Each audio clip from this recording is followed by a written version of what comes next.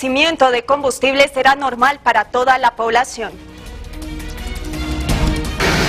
Todos ya prácticamente habilitados para apoyar la lucha contra el coronavirus, todo lo que es la emergencia, eh, todos los decretos que ya salieron tienen que ver precisamente con el tratar de evitar de que esta pandemia prolifere en Bolivia y complique la vida de los bolivianos. Seguramente todo eso lo vamos a analizar el día de hoy. Hay expertos que están asesorando todo el tema de las políticas que se deben llevar adelante en Bolivia. Lógicamente la presidenta también está evaluando todas esas medidas.